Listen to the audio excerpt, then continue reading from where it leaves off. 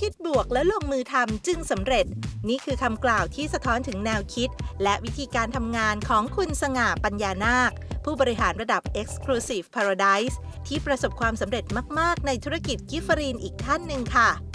ท่านบอกว่าหากเจอปัญหาให้คิดบวก เพราะนั่นคือบททดสอบชีวิตที่จะทำให้เราแกร่งขึ้น ฉลาดขึ้น และทำงานเป็นมากขึ้น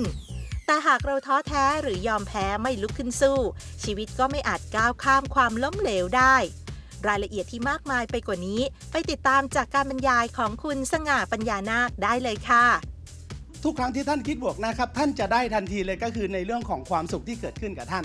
นะครับ แต่ท่านทุกครั้งที่ท่านคิดลบแน่นอนครับว่ามันจะเกิดความทุกข์กับท่านอย่างแน่นอน